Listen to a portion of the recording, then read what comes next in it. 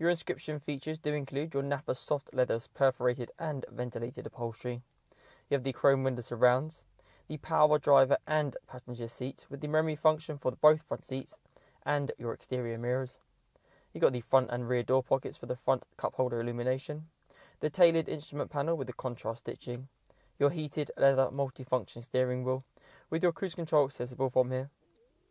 You get the touchscreen infotainment system where you can locate everything from DAB digital radio, your Bluetooth, the satellite navigation, the heated seat settings, and steering wheel settings.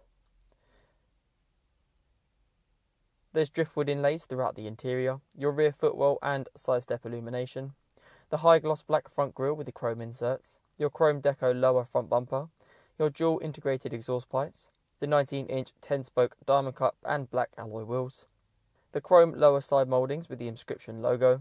your multicolour theatre lighting in the interior, the ambient door lighting, your lumbar support for both driver and front passenger. There's the crystal gear lever knob located here in the centre console, your cup holders, you have the reversing camera and parking sensors, and then moving into the rear of the vehicle, you will be able to find your split folding rear seats, and you also have the power operated tailgate. If you would like to know anything more about this vehicle or to book a test drive, please get in contact with one of the sales team or inquire for our website